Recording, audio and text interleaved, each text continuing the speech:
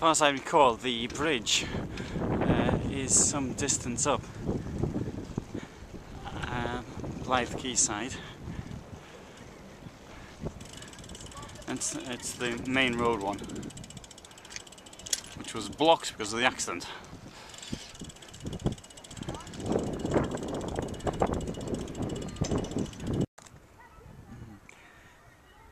This funny looking sculpture in front of me is the uh, spirit of the Staithes. The Staithes were the uh, wooden platforms from which coal was loaded onto ships.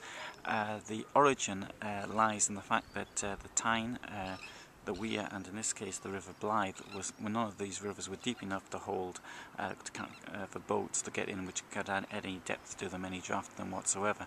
So the uh, the Staithes originally the, the, boats were loaded by use of keel and uh, keelers, and then the uh, boats were loaded from staithes. Staithes were wooden, wooden structures from which trains actually went on, and then the coal was tipped onto them.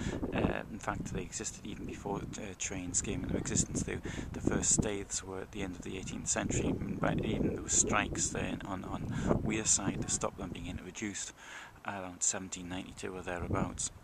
Um, the staithes here were taken down completely by around 2003. In fact, that, that structure I think was went, went up when the staithes came down, uh, the last of them.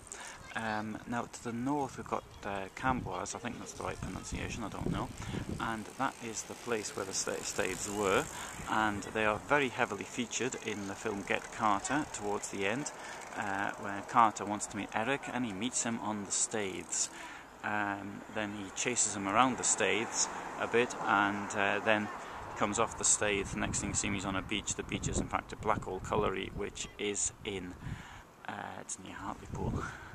Uh, so it's about 55 kilometres south of here. Uh, in, as far as Blyth is concerned, it actually it, it, it had um, changing fortunes several times. In fact, it hit its peak in 1961 with almost 7 million tonnes of coal being loaded from here. There were many coal mines in the area. Uh, coal was exported from here.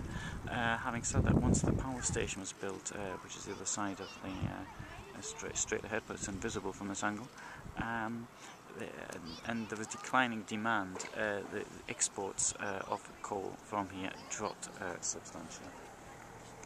In fact, the uh, one of the staithes was closed, and the, um, the South staithe was closed in 1972. So shortly after the Get Carter was made, the first ones actually went.